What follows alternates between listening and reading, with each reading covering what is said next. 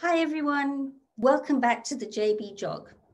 So, hands up if you feel you can mostly say to someone or to a group of people exactly what you mean without fear or judgment.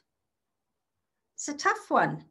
And okay, yes, sometimes it's unwise to speak one's truth. There's always appropriate timing to be factored in as well.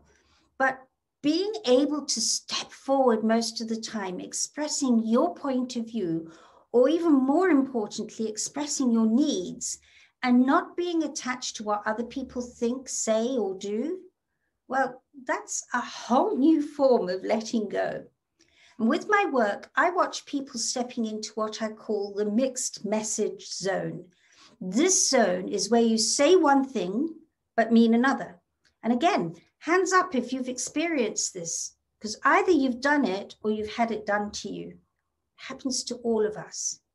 A mixed message zone is where you ask someone for guidelines or parameters or confirmation about something that matters perhaps to both of you.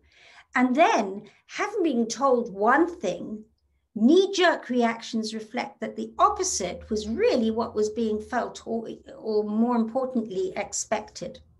And when one can say what one means, what you truly feel, without judgment of yourself and others, and without fear, it, uh, it, it, might make the other person or people have a little wobbly for a bit. In fact, it normally does.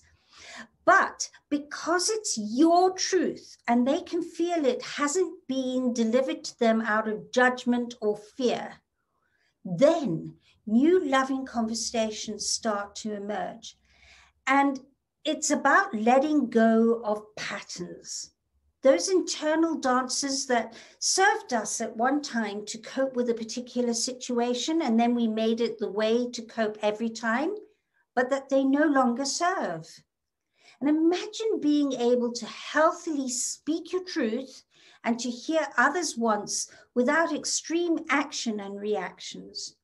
And that's where it's not what happens to you, but how you react to it that really works.